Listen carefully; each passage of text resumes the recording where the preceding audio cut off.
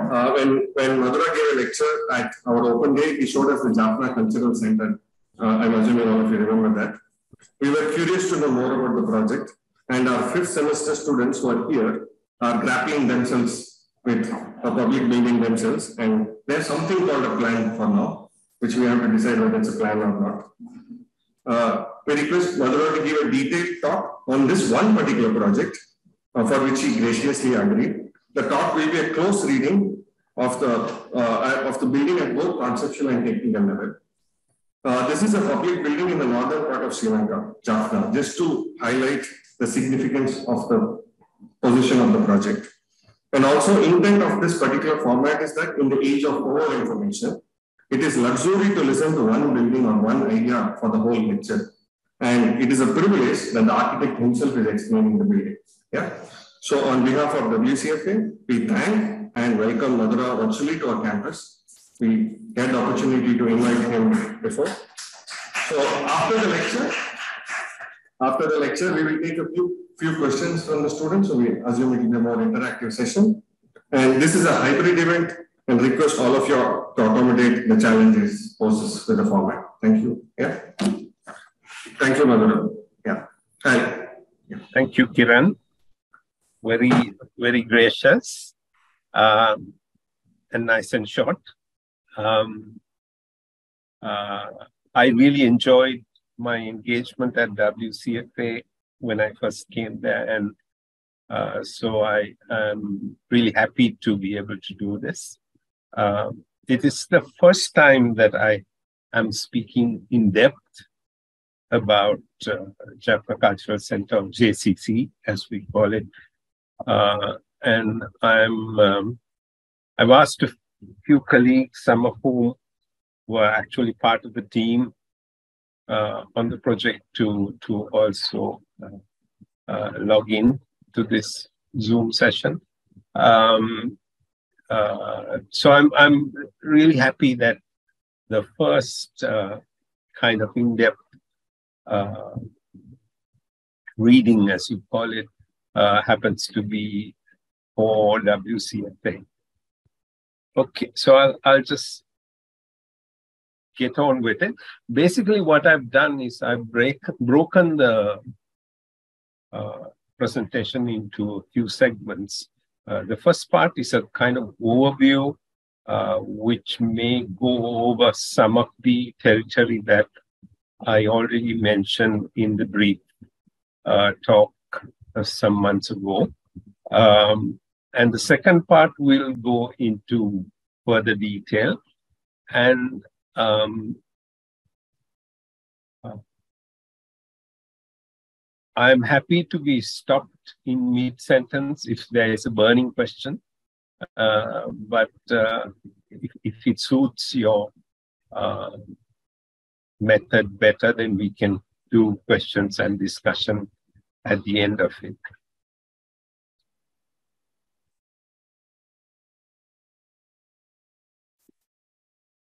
So the Jaffna Cultural Center is is this is what it looks like. It it's in the middle of the kind of uh, formal part of the city, uh, the public areas of the city, uh, and it is next to this lake called Pullupulam.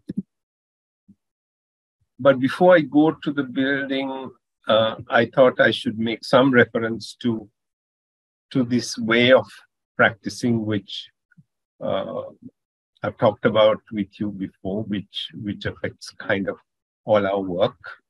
Um, and, and the Bill of Rights for users of architecture, which we uh, discussed as well. Um, and we've tried to satisfy the demands of, of these two parameters, sets of parameters in the way we approach this building. So Jaffna is, um, do you see the cursor? Do you see my cursor? You see the cursor, yeah. Yeah. Okay, so Jaffna is up here in the north of Sri Lanka. Basically, it, it's uh, the northern and eastern provinces of Sri Lanka were, was where the uh, civil war was fought for more than 30 years. Uh, and Jaffna being the uh, capital of the northern province was, was a theater of war uh, on many, many occasions. Um, and this project was um, was immediately post-war. The war ended in 2009, and this project uh, was floated as a competition in 2010. Um, and we competed. It was open. It's it's a gift from the people of India to the people of Sri Lanka, particularly specifically to the people of Jaffna. And it was, uh, yeah, I think some 28 or 29 uh, architects or groups competed in this from both Sri Lanka and India. And we were fortunate enough to win it with what was, in some sense, rather outlandish response. Um, so this this is the city. If you, if you see um, what you see here, the star-shaped thing is the old Dutch fort, which is fairly decently uh, preserved. There's a moat around it. This is the the sea on this side, and um, over here is the Jaffna Public Library, uh, which is the kind of most revered public building in Jaffna. Uh, and our site is right next to here. I'll zoom in. So it's it's basically between the library and the lake, and it has aspects towards the Dutch fort and the uh, sea and all the public spaces around it. So it really is in the heart of the public spaces of Jaffna. The commercial part of the city is uh, maybe a kilometer away. So this is the public library. And as I keep on saying, and I'm sure people have heard me say it before, it is a quite unique because people in, in Jaffna have an extremely high regard for education and, and knowledge. And it is reflected in the fact that people always leave their shoes, their footwear at the door when they enter this library. So it's, it's that kind of reverence they have for it. So when we build this new structure next door to this extremely revered building, this revered place, we had to be extremely careful about how we uh, respond to it. So our references came starting with the principal reference to the uh, public library uh, and the Hindu architecture, which is very much part of uh, Jaffna and the Northern Peninsula. Basically, the brief had three elements. It had a cultural museum, an auditorium, and a a learning center for basically for the arts. Uh, we added public square, and I will talk about that a little more later. Um, so that we, we arranged all of these buildings around this public square. And so that's how our building, our, our group of buildings sits in its context. So um, so this public library is here and it has a very distinctive facade. It has a very long vista towards this side. So there's a visual access towards it. So our site extends from here down to here. But we made a deliberate uh, statement in stepping back. You see the red line.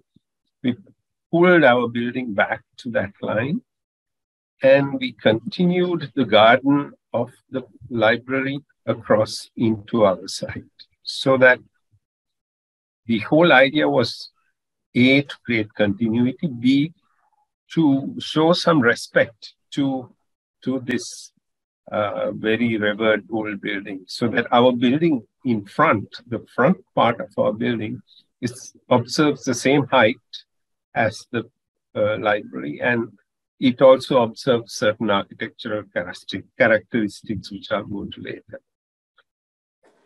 The rest of the urban response was A towards the, the lake, uh, where we created this uh, pedestrian street, uh, and then towards the rear uh, street where the building responded then at that end to, the, to that street as well. And then creating this public space in the center was very important because this public space includes very importantly uh, an amphitheater. And because this is the site of a very old, very small amphitheater which used to exist before the war uh, and which was very much a part of Jaffna's cultural life at the time. So we wanted to recreate this in, in, a, in a different scale, of course, but in, and in a contemporary sense. So the buildings are arranged around this public square. The, the whole idea of the public square was so that we would create um, a space for people to gather and engage in, in cultural events, but also uh, we de designed it in such a way that it has no gateways. It, it is open. It is, uh, well, so the, the buildings that wrap around, the one right at the bottom is the museum. On the left is the auditorium with its entrance here. And this is the learning facility, which uh, we, in order to accommodate all of this on the site and have a public square, we uh, decided to locate all the learning facilities in a tower. And we call it the learning spire because it aspires to, to it, it is inspired by the idea of, of the Sikara, uh, and and it has certain references to its shape as well. Because if the if the um, public library is is the previous temple of learning, here we said would be the new temple of learning. So there are uh, these are the basic arrangements on, in the in the cultural museum. There are uh, three floors, uh, including a, a basement. Uh, on in the auditorium, also three floors, which include the seating at upper level and lower level, and lobbies at different levels. And the tower goes up many, many, many more floors, and we'll go into detail on that. The uh, response to the context was then uh, expressed or start in the alignment of the museum building with the library, which you can see here. The, the public library is on your left, and this is the museum in front. Uh, and the other important thing which we did was to create a facade, colonnade for the museum, which is like an echo of, of it's not a copy, it's, it's, it's a like contemporary echo of the public library building. And then the composition continues and then rises up and culminates in this learning spire. So this is this, this colonnade which I referred to, which is now picking up the details or and the proportions and the, the rhythm of of the uh, public library. But the, the actual building, which is in steel, glass, and timber, is, is behind it. And it is separated clearly by, by a gap. So there's a physical gap between this kind of cloak of respectfulness which the building is wearing and the actual character of the building which is behind it. In addition, there were references in our building to the dome of the public library. This building also has a dome, uh, which you see here from the rooftop, the two, two domes, a kind of conversation. Uh, and inside that dome, the, the light comes in, uh, which creates the central space of the museum. Um, so there's there's even when you're inside this building, there is a sense of relationship to the other. So the uh, access uh, points into the building would be okay. So we have the uh, contextual responses, which I talked about earlier, and then we have the public space in the center and the two icons, the public library, which is the old icon, and the learning tower, which is the new icon. And these uh, are then converted in practical terms into the access ways. So the ceremonial formal access into our building is here in, in front of into the uh, cultural museum, which echoes the entry into the public library. And the same form of landscaping and roundabouts and so forth, the, the same language of landscaping is continued there.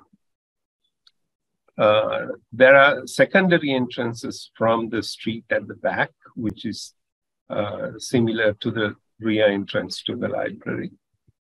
And then the, the pedestrian entrance, which really is the primary entrance to this building, is along the pedestrian street, and people would come along that from two directions and enter into the uh, public space. And from there, there are entrances into each of the buildings. The vehicular circulation it comes in from the top road, goes around the side, and goes out this way or the other way around. Um, the vehicular movement is, is kind of uh, concealed and given less prominence so that the pedestrian movement as a public space uh, is, is the primary way of accessing this building. So that's, that's what it looks like in reality.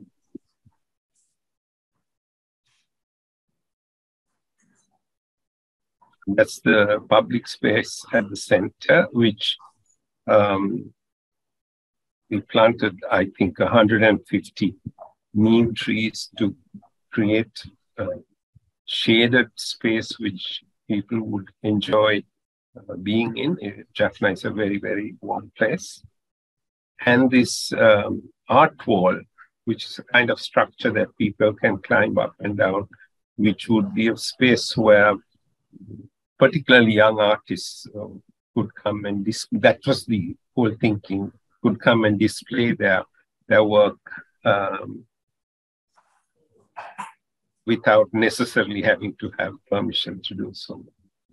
And the um, public, uh, the pedestrianized street, which goes uh, from end to end and connects to this uh, amphitheater open air space, and which then opens to the um, lake on which we have a floating stage.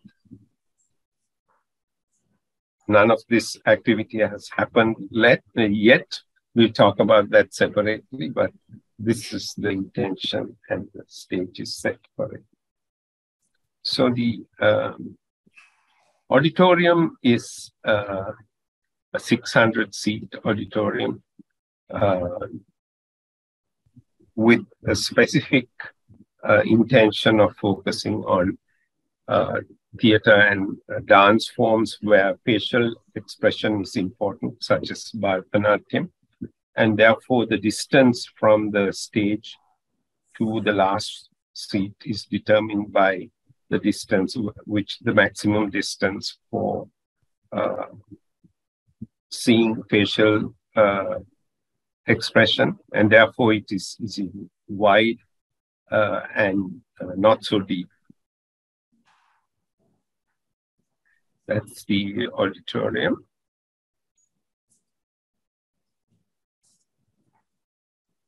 And one of the features of, of the uh, auditorium is the acoustic walls, where we uh, picked up one of the most commonly uh, seen aspects of life in Jaffna, which is this Palmyra leaf fence, which you find almost everywhere. It is the most, and we we we try to express the idea of something very familiar and common to Jaffna in in the uh, paneling of the acoustic wall. I'll I'll go in, into detail later. This is uh, seen from backstage and some of the uh, uh, workings backstage. Again, I'll look at it later. Um, the learning tower, mm, which is meant for uh, training in the arts. Uh, so there are uh, multimedia libraries, dance studios, vocal studios, instrumental studios, lecture halls. Uh, there's a conference facility and so forth. Um, so it's it's placed on a podium, which links it to the rest of the low buildings, and the tower sits on top of it. In between is the cafeteria, which is a public space and which opens out to the views in, in both directions. That's uh, what it looks like. And the the uh, the timber screen is a very important part of this. And uh, i will again explain that in detail later. It's what may, yeah uh, the timber screen is what makes it work. Um, functionally and climatically and uh, what gives it its form and this this is the the old icon and the new icon speaking to each other, uh, both icons for education. Um, and the intention was that we, you would have, uh, you could create new icons while respecting the old. And it is something, therefore, which is a new landmark in the city, which is visible from different parts of the city and uh, from across the lagoon as well.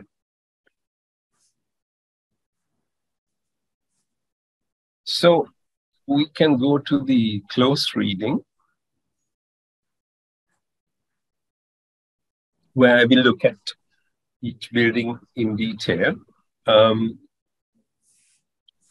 I think we're probably running a little bit late. Should I speed up or what do you think, Kiran?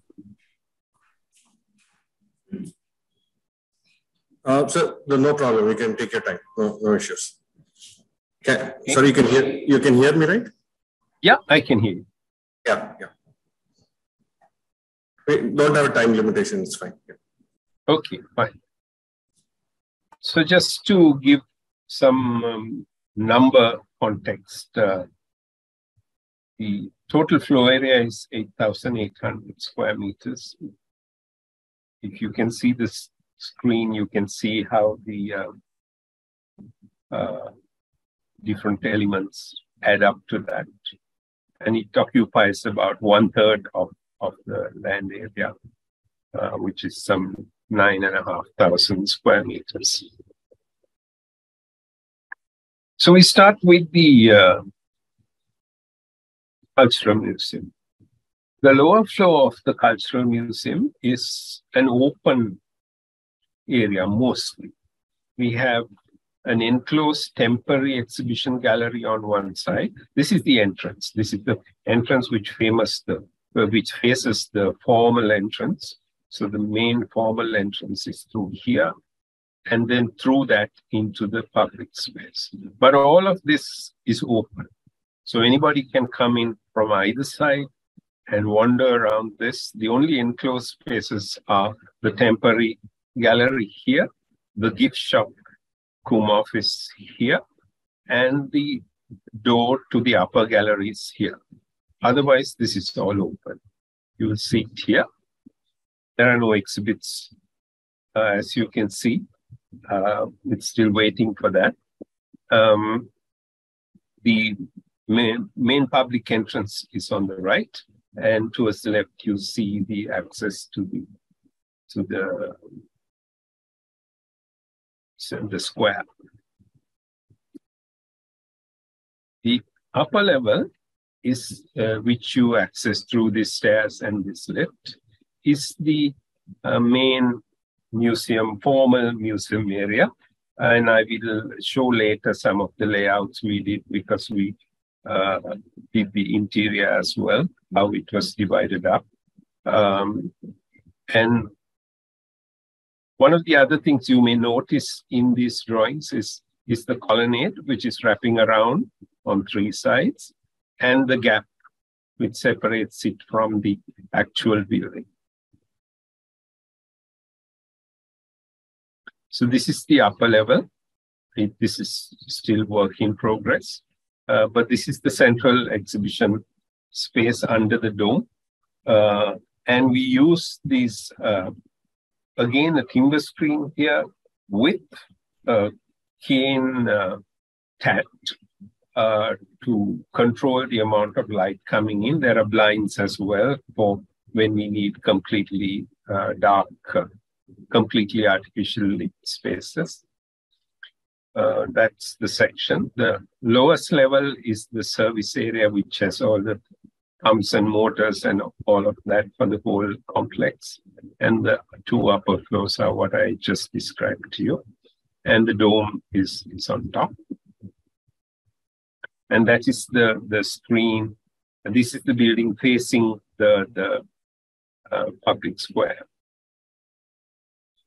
This is the colonnade, or at least the iteration of the colonnade in, a, in our earliest drawings. Um, and this is what it turned out to be. Um, the You can see here clearly the two buildings uh, separated, the two elements separated.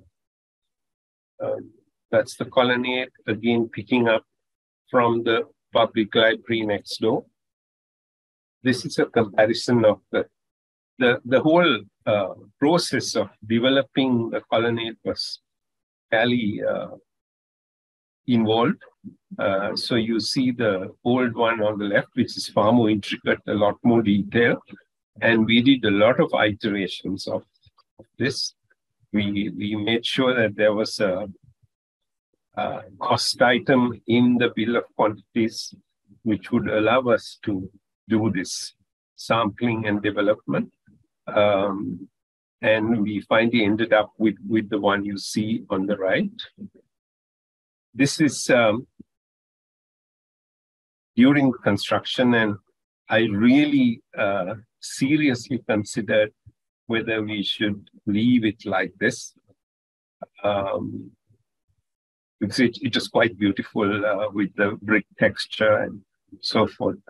Um, but in the end, um, we decided against it uh, for a couple of reasons. One is that I think it was becoming a bit of an ego trip and it was um, defeating the whole purpose of creating a colonnade that would respond to the public library. And secondly, I think uh, maintaining this in a public building would have been a true nightmare in our humid uh, weather. So this was part of the process of developing this. Uh, it was made out of uh, plywood, modeled out of plywood, and then moved into actual masonry samples. Um, later, much later on in the process, we also did uh, on-site uh, working out of how it would be lit uh, because I um, it was a, a, dilemma how how to balance the idea of, creating a, a, a, pleasing presence uh, versus not overpowering the building next door and uh, not making it look like the Third Reich as well. The gap, which is so important between the uh, the two elements. So the outer skin, the structure is completely independent. And which, uh, so the only uh, connection between the two really is, is the shadows that the skin throws on through the steel col columns. Um, and of course, the, the dome, which is the central space and creates this uh, interesting shadows uh, which move according to the time of day and time of year, uh, and which is when it is lit up from inside also, it, it has a very special uh, presence. And it has this conversation with the dome of the library next door.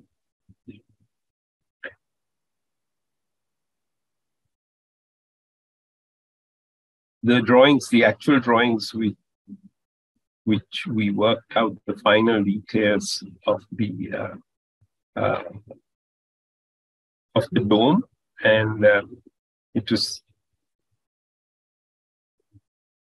modeled on site and um, then built, put together uh, piece by piece.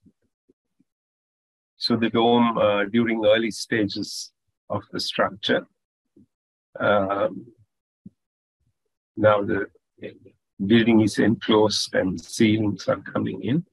Um, the ceiling structure, now the ceiling is in. You can see there's water on the floor because the void is still open uh, and it's finally closed now.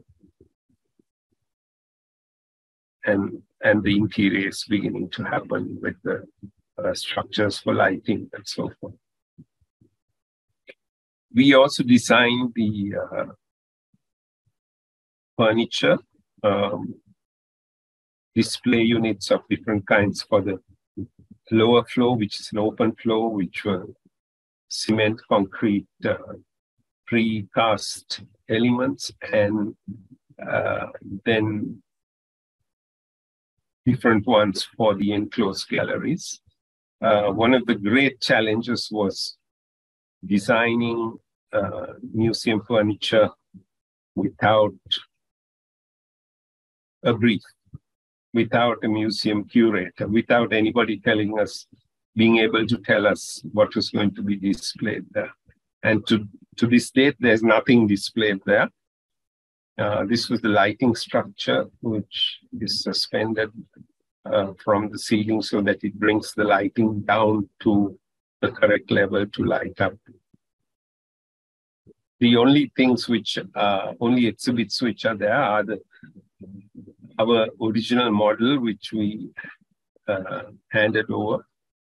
Other than that, the museum is empty, sadly. So that's uh, what it uh, looks like from the inside. The auditorium has uh, 600 odd seats. Uh, the majority of the seats are on the lower level, and the balance seats are on a balcony. This explains that. Um, this element on the left are the entries. So at the lowest level is the vehicle entry through that driveway along the side. Uh, the middle one is the entry, the pedestrian entry from the public square. And the top lobby serves the, the seating on the upper level. And the idea is that these lobbies themselves could be used as separate function spaces uh, independent of the auditorium. And on top of this, we have spaces for all the services, the air conditioning equipment and all of that goes up there. Uh, I don't know whether you can see the drawings of the air conditioning ducts going under the balcony and inside the ceiling and up into this terrace. Um,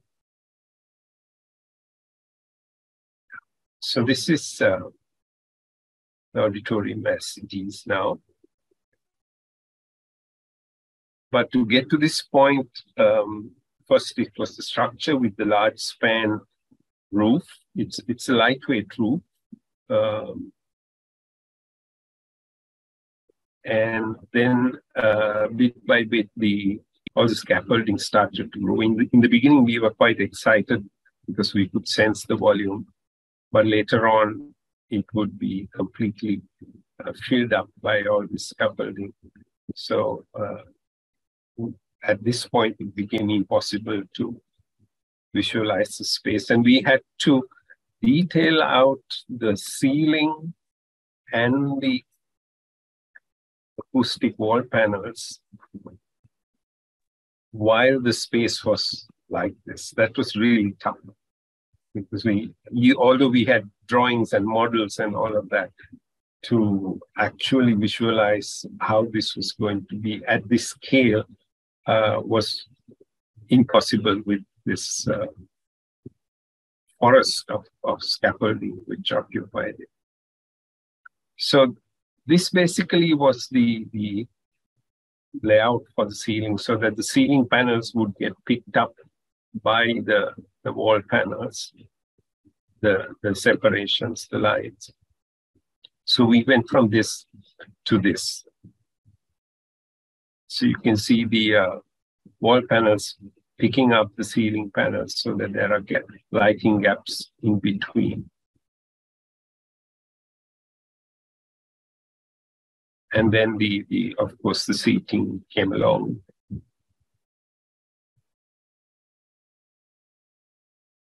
and the uh, backstage the, the separation between particularly i think because of the, the color difference and the lighting difference in this it's quite evident in this picture it's just like you drawn a line through this space the uh, the audience part and the stage are like totally different uh, uh, entities.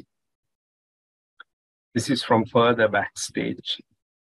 Uh, and we, we had a very good uh, theater consultant, a lighting and uh, stage consultant who worked with us. So there are 16 uh, pulleys, sets of pulleys which move the scenery up and down and all these curtains and, and so forth. So it's, it's, it's a very, very well equipped auditorium with a very good sound system as well. And uh, a great pity that nothing has yet been, it's not being used uh, in any, any justifiable way. Well, this, this structure here is, is the uh, place where all the the catwalk where all the uh, lighting is fixed, which so the lighting operators would work from here uh, when a performance was being staged, or, or when a when a performance was being designed. Uh, when it, when it's being staged, they would just control it from the control.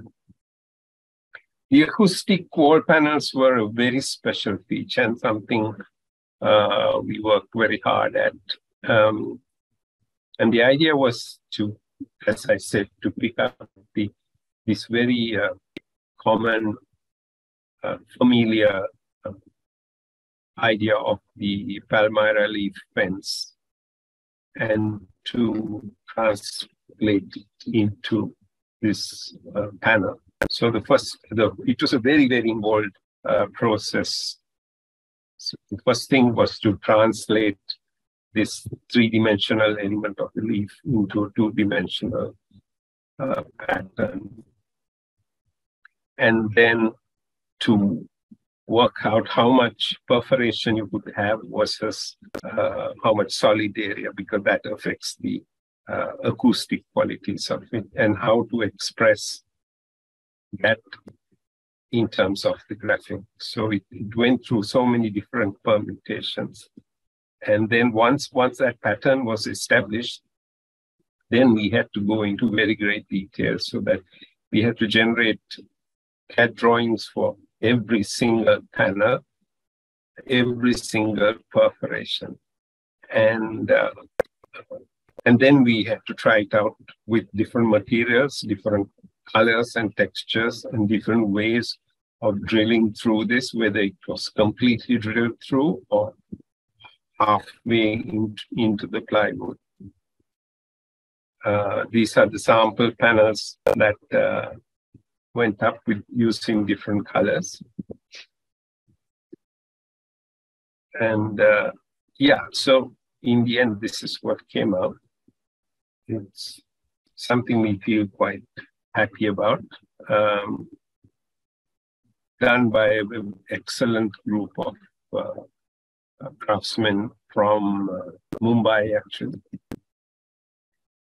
The learning tower. um, in the base, in the it has uh, so basically it has an entrance from the rear street on this side. The entrance from the public square goes up to the first floor. And you get admin and officers and stuff. That's on the ground floor. So that's your entrance. So the entrance from the public square takes you really up into the active areas of, of the building. Whereas the entrance from the rear street, which lead you would lead you into the kind of offices and the reception and so forth. So this is the next level where you get the uh, conference facility and then from there access to the upper levels. That's your uh, that's your stairway leading up, which incidentally is inspired by the steps of the chariot house of the uh, Hindu temples. Um, on top of this, you have the cafeteria, which is on two levels, uh, a mezzanine and a double height volume, and which opens out to the surroundings on all sides. And then you get the um, next level. So the on two levels, we have uh, what was designed as a multimedia archive, um, which has this uh, gallery kind of space where the intention is that you would have a lot of display space around this with which you could hold exhibitions and so forth. And then other spaces for a study and, and library space and so forth. This is uh, the same thing uh, during construction. It uh, the uh, it needed a fair degree of precision and uh, it wasn't always easy. You can see that the the point of the triangle is not meeting the center of the uh, cylinder. So there was a lot of back and forth. And then above this, we had two levels of lecture hall. So basically, the arrangement was that you would enter on the lower levels and enter into this service core. There were two lifts and a staircase.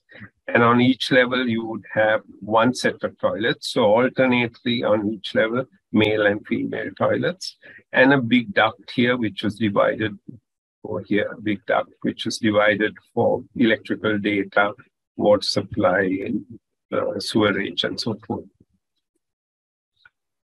restart those levels. So here you see the idea of the timber screen and what it does to control the uh, climate.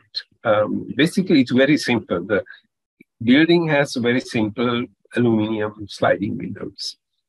The timber screen creates shadow and shade and allows the air to pass through because it's it's right next to the sea, the lagoon, and there is plenty of breeze at all times. Actually, the problem is controlling the breeze rather than uh, needing to create it. So even uh, there are fans here which haven't hadn't been fixed at the time of this picture, but uh, they're really not necessary because there is such a lot of breeze. So the, these are the lecture hall uh, levels, and then three levels of studio spaces. This is one of them, which is the dance floor. So therefore, we have this timber floor and the seats. The windows are, are defined into seats so that uh, students can sit around while while rehearsing or or being taught. And it's a very bare bones building. All the services are exposed. And right on top, there's a public exhibition gallery, which uh, would be like an exhibition gallery, a public one for the whole whole city, not just for this facility.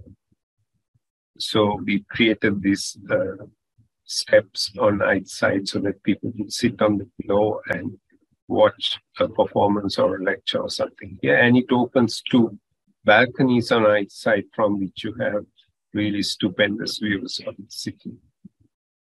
And a roof terrace on top uh, where you, all the services are housed and on top of which we have solar panels. Um, we, we, we can generate enough solar energy here to run the uh, these the non-air conditioned parts of this building, which is the majority.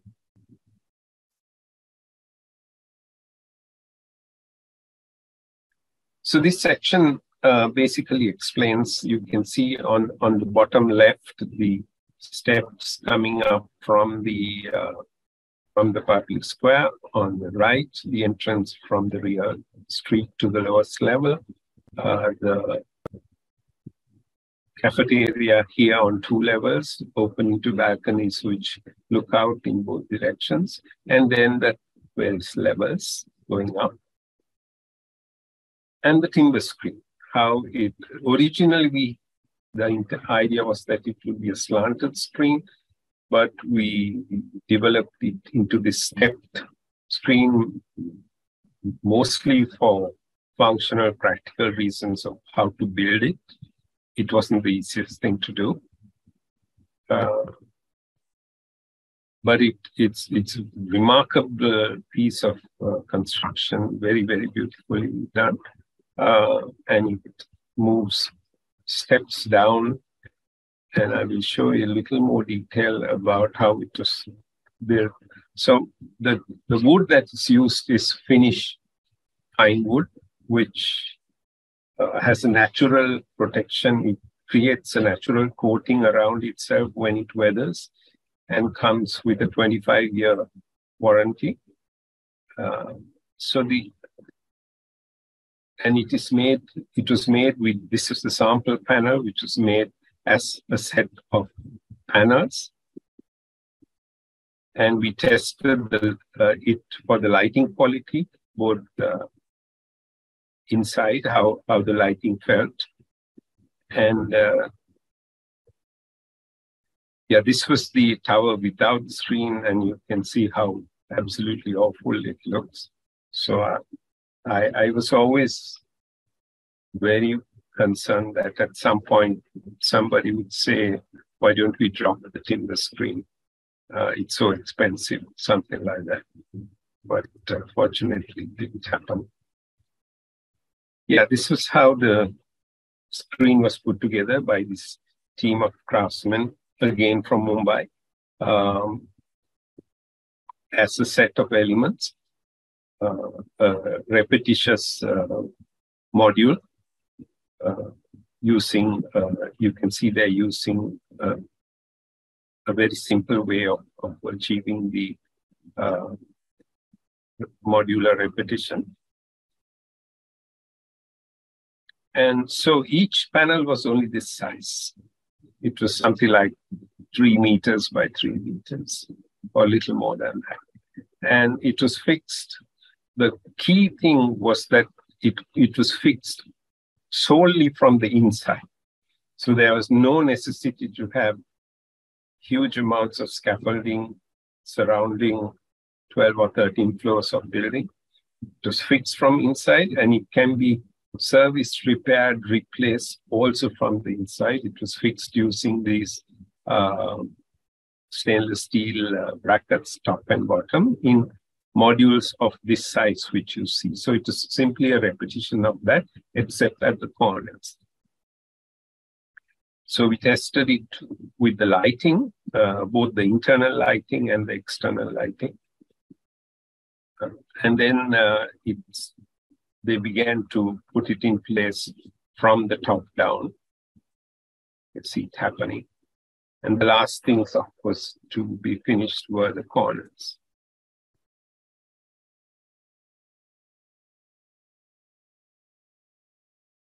So it's it's this kind of um, transparent uh, or shimmering kind of feel that it has to it.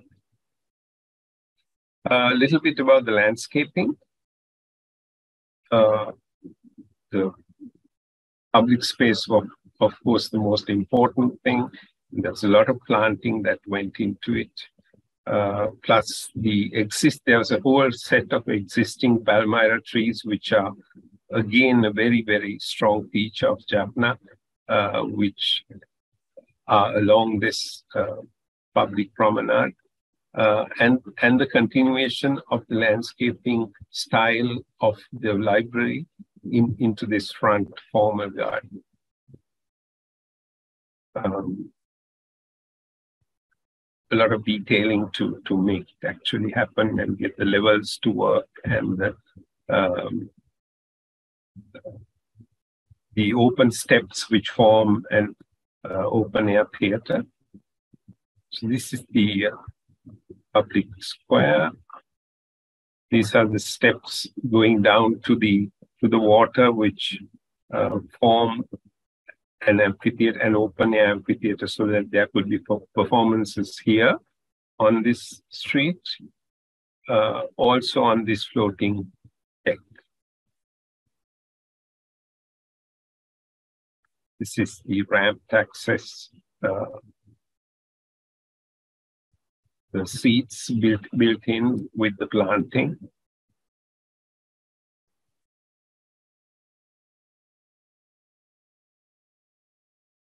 So the uh, landscaping is really important because when the building goes to ruin, as things eventually do, it will be the landscaping which is the saving grace that hides it, hides all our mistakes.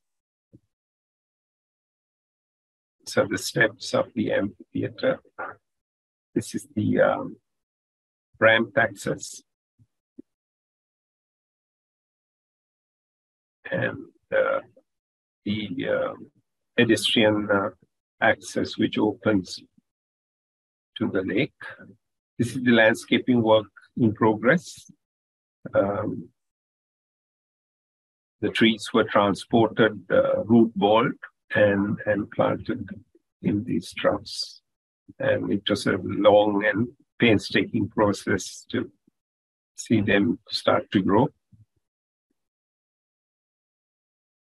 The uh, art wall, uh, which was a very important part of this, is uh, it, it basically occupies the blank wall, side wall of the auditorium, so that it creates spaces for people to move through and uh, interact with art, which hopefully young artists would one day bring to this place. Um, the pedestrian uh, street, the steps going down to the water again, and the uh, very, uh, again, a very clever group of um, people put together this very simple uh, floating stage with uh, PVC barrels and stainless steel checker plate and it, it has a motor as well to, to move it around.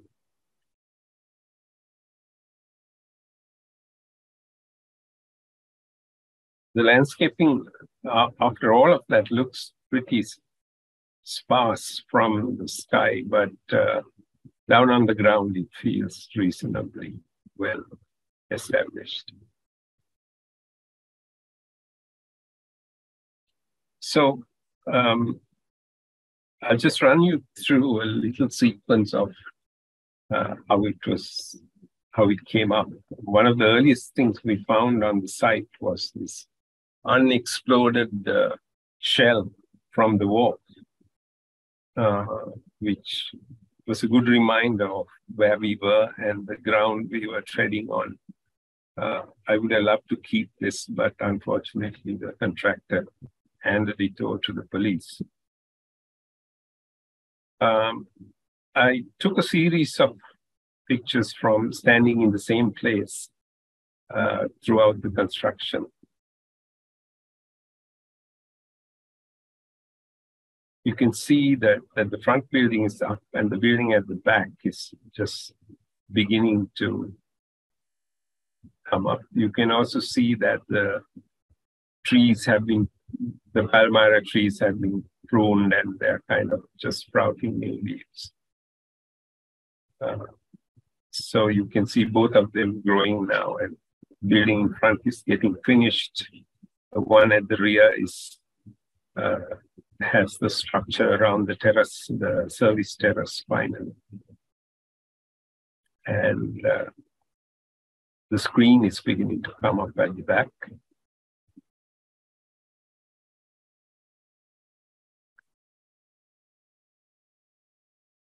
Final coat of paint going on in front while the screen is complete at the back. And the landscaping is happening now. The final planting, final pruning of the palmyra trees, which are now looking much healthier than they were in the first picture. And uh, right at the end.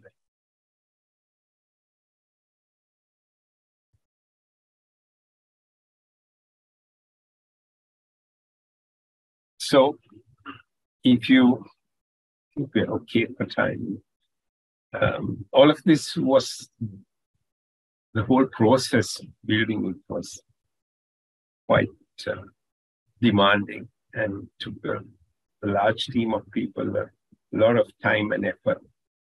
Uh, and there was a project management team on site which produced this humongous uh, reports, monitored and produced these humongous reports every month, uh, which would talk about critical issues, time overviews, cost overviews, labor, machinery, weather, uh, and of course the uh, ubiquitous bar chart, which uh, kept track of things. The project was supposed to take 30 months it took uh, about a year more. And I, I, I mean, all of this was done by a huge group of people, starting with the architects who, from our studio and groups of engineers and, and contractors and subcontractors and so forth over a very long period of time, three to four years. And uh, but I think we, we enjoyed the process along the way. Um, the, the postscript I want to add is that the building was completed in March 2019, that then COVID interfered with completion of the last few things like the defects and so forth. But it's been ready since March 2020 and uh, it's been empty.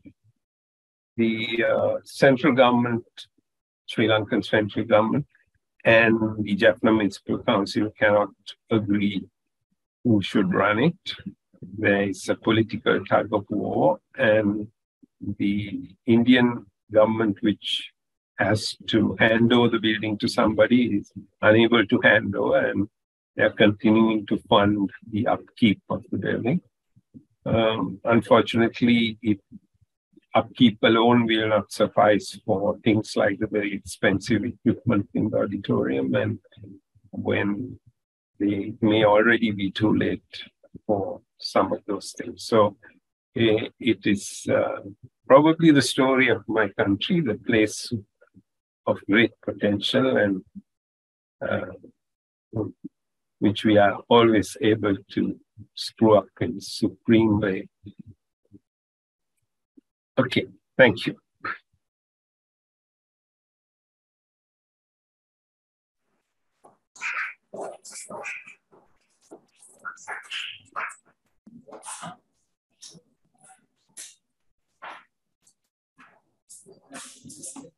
Uh,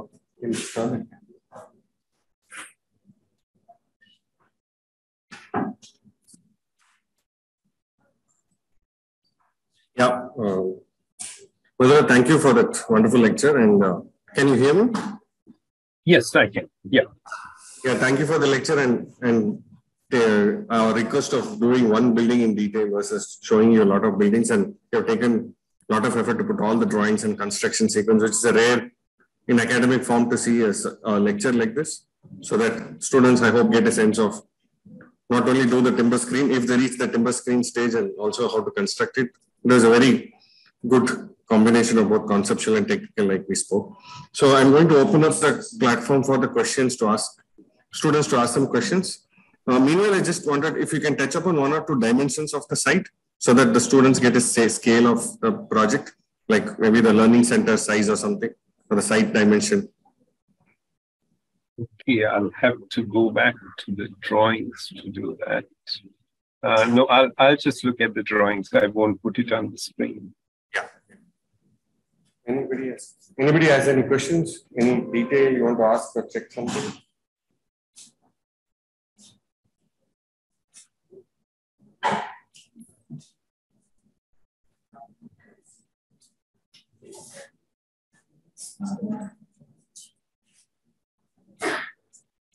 Hello. Yeah. Hello, sir. You introduce yourself. Good afternoon. My name is Deepak. And Hi. um, I, I, I was wondering uh, why the, the gap between the facade and the wall of the building uh, was so important in the museum. Uh, okay, right. Um, so the question is, first of all, we wanted to do a building on that side which would be respectful of, of the public library next door. Number one. But if we had done a building which uh, completely behaved in, in that within inverted commas respectful manner, then we would do a we it was difficult to do a building which was of this time, of its time. So we would have ended up doing a building which is trying to mimic the the uh, public library, which is absolutely not the intention. Therefore, it is like you are wearing a respectful cloak in the presence of this respected uh, entity. Uh, so, and to separate that cloak from your real uh, essence, therefore the gap is is very very important. And I feel that the the idea of the of the screen of the facade of it's a it's a very often used technique, not only in architecture but in in social interaction that you you wear something in front of, of your face. You you hide yourself uh, out of respect and and uh, maybe out for other reasons as well, but in this instance, out of respect. So um, therefore, it was very very critically important. I felt that the two are separated. All right, so I'm wondering how did you settle or arrive at the specific dimension of that gap? Because I don't think a human being can walk in between. So No, you can't walk in between. It's just wide. It's probably about a foot, um, 300 millimeters, just wide enough to uh, repaint it maybe one day. Uh, uh, so that that was the defining uh, uh, parameter that you should be able to service it. Thank you, sir. Uh, any other questions from any of the students? Yeah.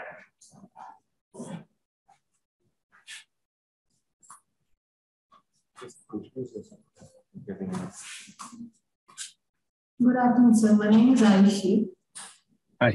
I wanted to ask how you arrived at the decision of leaving it completely open. Like there's obviously a lot of challenges that come along with because even the museum is, like you said, at the ground completely accessible to anybody who comes there.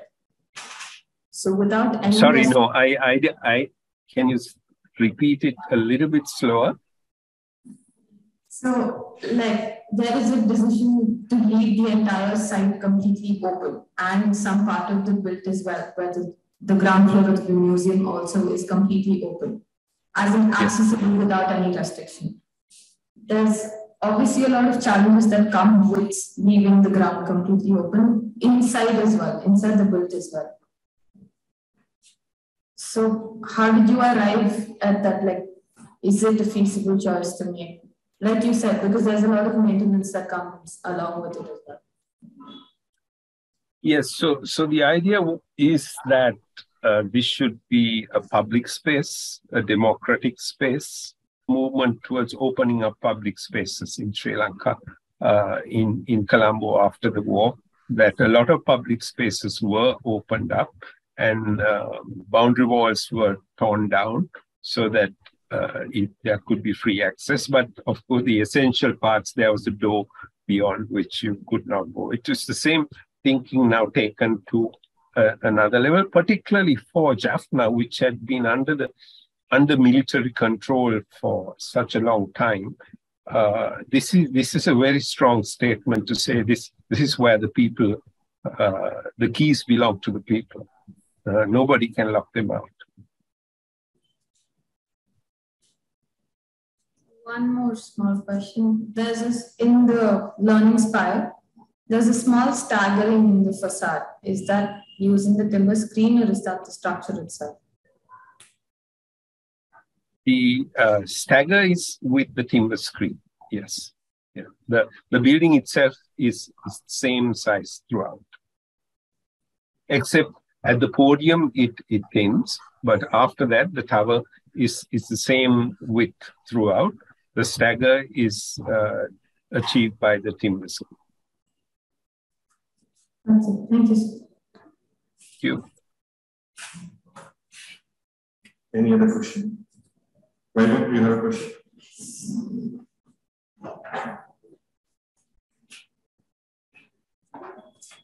Hello, sir. Uh, I'm Vaibhav. My question, um, now Jaffna being such a hot climate, uh, you open the whole facade using large openings, but then there's like a timber screen. So is the timber screen being used as a jali? Because um, in the pictures you showed, there's a lot of sun coming into the building. So how is the heat, um, you know, taken care of because of it's a because it's a hot climate? So the, the timber screen creates so much shade. So it's less than 50% of the surface is finally open uh, and and the shadows which are continuously moving therefore cast the shadow on different parts. So even the glass surface the same spot does not get heated for long because the shadows are, are moving. And uh, so that creates the, the, the shadow element which gives the protection. It's it's a very very cool building to be inside. And because the screen gives you protection you can leave your windows open and and the wind blows through. So um, yeah, so I, am a great believer that in our part of the world, uh, the climate. I mean, we, we don't have a climate like in, in the Middle East or like in in northern parts of India. Um, so um, southern India and Sri Lanka have the ability to cope with the climate in less uh, less black and white terms. So it's you can modulate it uh, using elements like screens and uh, tree shade and so forth much easier. Uh, so we the, the, this climate we have is really a gift to us, and we we don't necessarily need to retreat inside and shut the door and not look at the east or the west uh, the way um, I was taught in in first year. So uh, are these timber screens movable like the louvres? Are they movable or are they fixed? Like are any of them movable? Originally, I had the idea that they would be movable, but in in the practicalities of detailing it, we decided to keep it fixed. But uh, essentially, we, we find that it's really not necessary to move it because moving it means that you're letting in more sun and heat, uh, whereas enough we are getting enough sun uh, the way it is now. The only reason you would want to move it would be to let in more light, uh, but there is enough light now because it bounces off the floors and so forth. Yeah. Thank you, sir. Thank you. Any other questions? Amir? Next.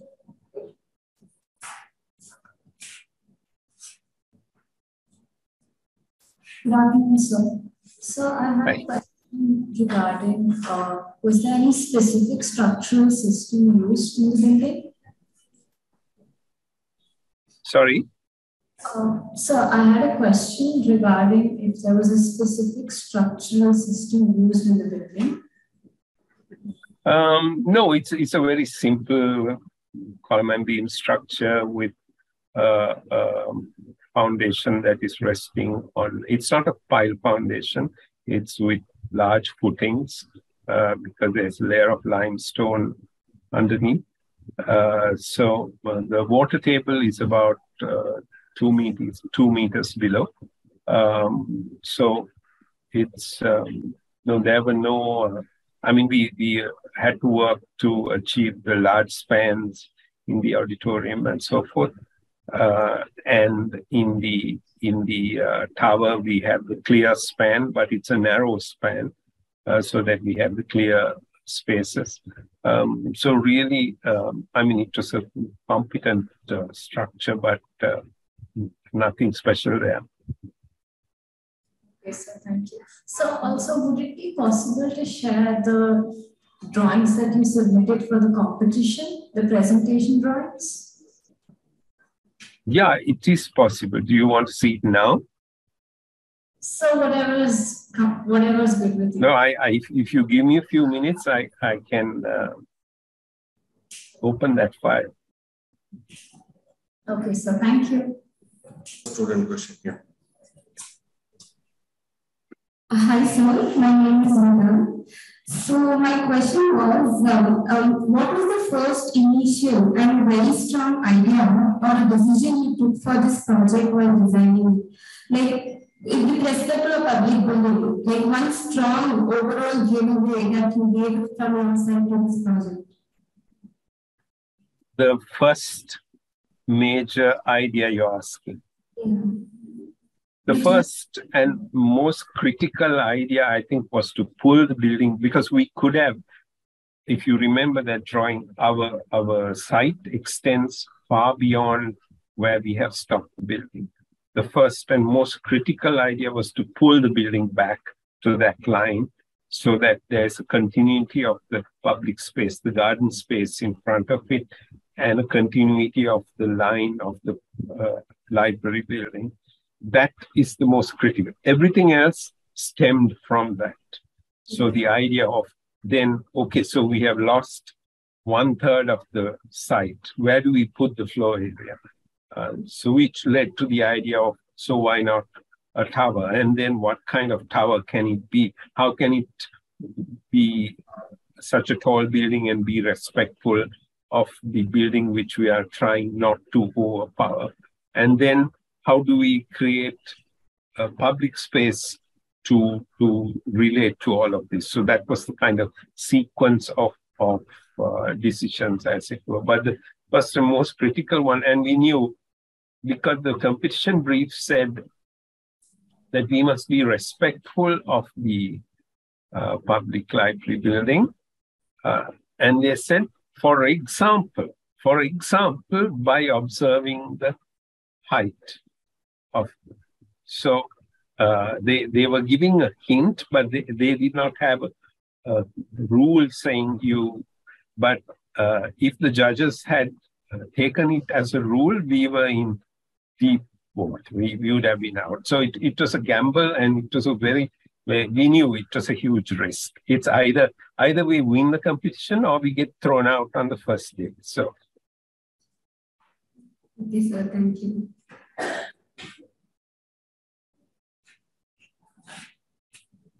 Any other question?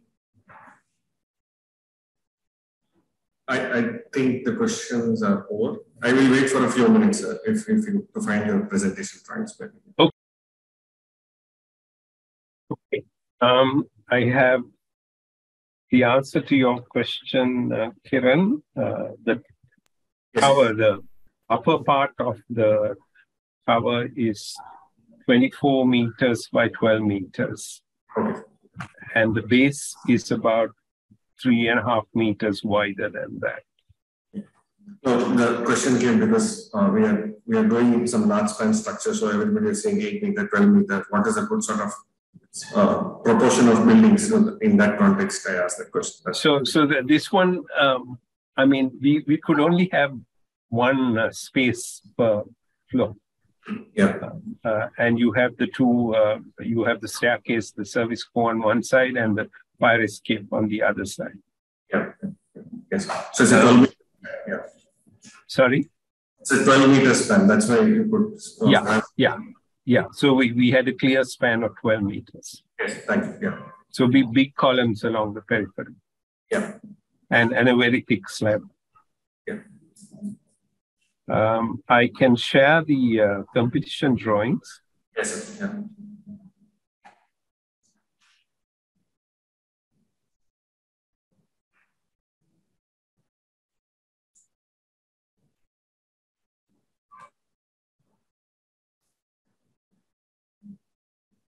Can you see that? Yeah, yes, sir, we can see. Yeah. yeah. So um, yeah, so this this were the drawings explaining the response to the context and this relationship to the uh, uh, public library building and the idea of, of the public square and the pedestrian street. So, uh, and, and the replication of the garden form. So it's, it's fairly, uh, uh, I think we were extremely fortunate that we were able to carry through uh, largely intact the original idea. Um, this was, you can see that it is fairly similar to what we finally achieved. The, the competition drawings, uh, it was one of the rules that it had to be black and white.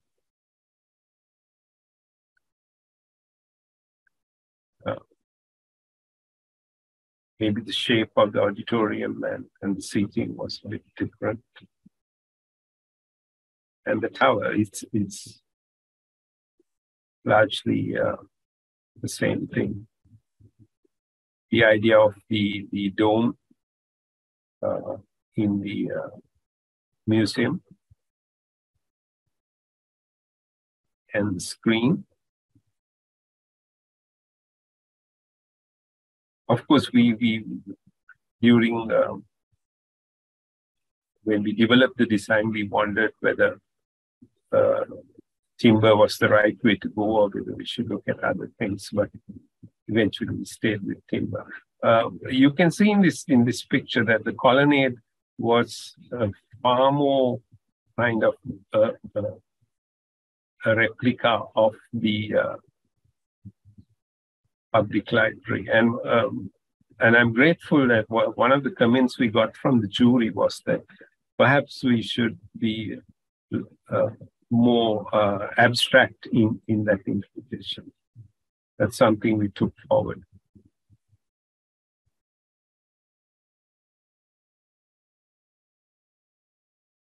this was the idea of, of the uh, sustainability strategies, including the natural ventilation and uh, light in, in the tower and the ability to derive all, all the uh, energy needed for that building uh, from the solar panels up there. Yeah, um, I, I hope that answered uh, that question. I, I, I would like to know why why she asked that question. Amira, you want to answer? Yeah.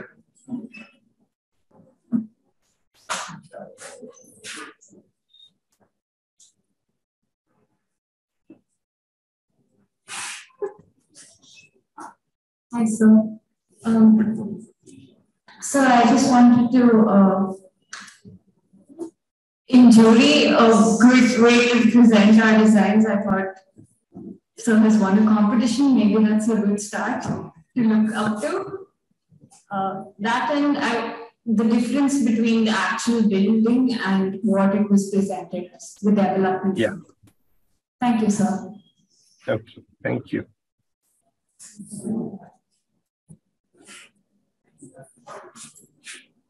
So, so th thanks a lot. Thanks a lot for uh, putting up this lecture for us and also taking time. And this has been a wonderful, uh, students are one month away from their final drawings. They have uh, the end of December, the review. So we hope we are, this lecture becomes, becomes a catalyst for them to look at the building more closely. Uh, so thanks, thank you for the lecture. And behalf of WCFA, we thank you a lot. Yeah. And we look forward Thank to you. Thank you. It's been a pleasure. I, I actually used the opportunity to put together all the information regarding this, which I've been planning to do for some time. And so it, it served a very important purpose for me. Yeah. Thank you. So we one.